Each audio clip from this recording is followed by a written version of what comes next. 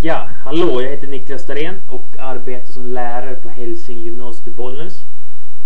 I den här filmen så tänkte jag försöka förklara hur elektrontransportkedjan fungerar. Eh, I varje cell så finns det mitokondrier och det är cellens kraftstation. Det är här den stora ATP-produktionen sker. Mitokondrien består av ett yttre membran och ett inre kraftigt veckat membran. Eh, det betyder att ytan blir väldigt stor så här får det plats många proteiner som kan sitta i membranet. Elektrontransportkedjan består av några proteiner som sitter på rad. Den finns inte bara på ett ställe utan den finns på många ställen i det inre membranet. Här har jag försökt gjort en modell av hur det kan se ut på ett ställe. Eh, då har man alltså det inre membranet, det här blåa. Sen finns det alltså de här proteinerna som sitter i membranet. Eh, det som händer är att vätebärare kommer till elektrontransportkedjan och lämnar ifrån sig energirika väteatomer. Och de är energirika på grund av att de innehåller energirika elektroner. Väteatomerna delas upp i fria elektroner och vätejoner. Elektronerna avges till det första proteinet som skickar vidare elektronerna till nästa steg, till nästa steg, till nästa steg. Här har vi en järnjon som tar emot elektronerna. Och det är alltså en elektron i taget. Och elektronen skickas sedan vidare till syrgas. Syrgas är den sista elektronacceptorn, alltså mottagaren. Och elektronerna innehåller energi och de rör sig mellan de här olika proteinerna. Och energin från elektronerna utnyttjas för att pumpa vätejoner till motsatt sida av membranet. Så att man kan kalla de här för vätepumpar. Och elektronerna kan man tänka är elektricitet som driver en pump. Om man tänker en vattenpump till exempel så har du elektricitet som driver pumpen för att pumpa vatten. Elektricitet är ju faktiskt elektroner i rörelse. I det här fallet så är det inte vatten som pumpas utan i det här fallet så är det vätejoner.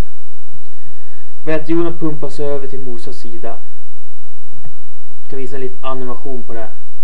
Elektronerna kommer, energin från elektronerna leder till att vätejoner kan pumpas över. Den sista mottagaren är syrgas som tar emot elektroner. Syftet med elektrontransportkedjan det är att bygga upp en stor koncentration av vätejoner på motsatt sida av membranet, av det inre membranet. Så det sker liksom ingen ATP-produktion i just elektrontransportkedjan utan det kommer ske i nästa steg och det kommer jag ta upp i nästa video.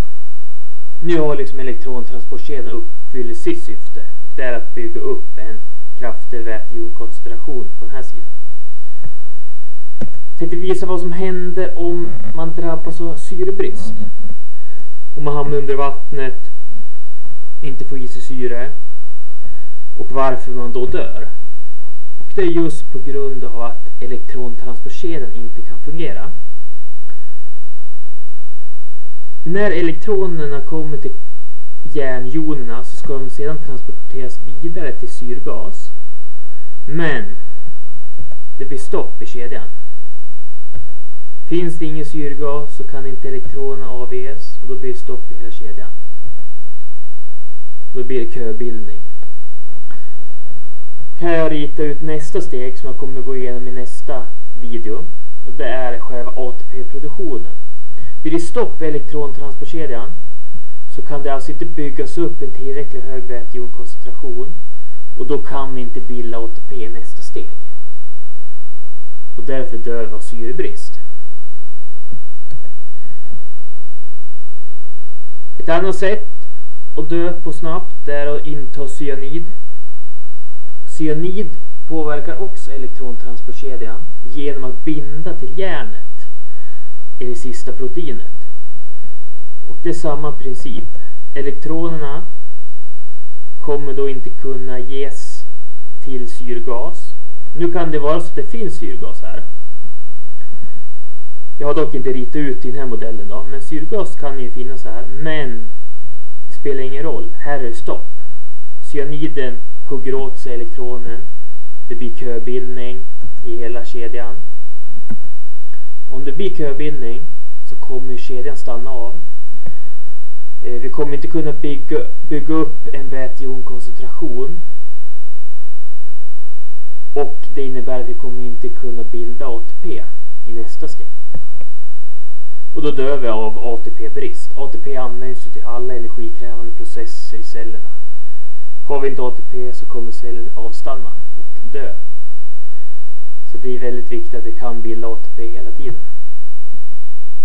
Ja, i nästa video så kommer jag att gå igenom det sista steget, ATP-produktionen.